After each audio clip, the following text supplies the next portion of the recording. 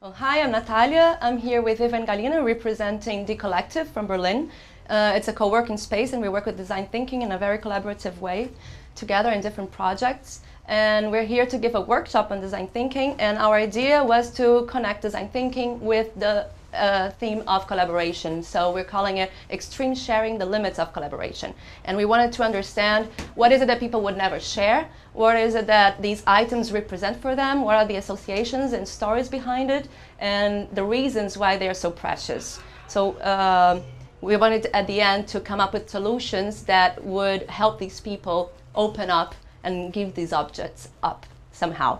And it was really interesting to see how the workshop happened. I think uh, a, a, lot of people were really surprised in how they got to know their user in such a short time and how they could be so creative with such a, a, a tight schedule. You know, we had we were doing all the time. You have three minutes to do this, five, four minutes to do that. Share your insights now, and they were really surprised on how much they could accomplish at the end of that. So it was really good for us, I think.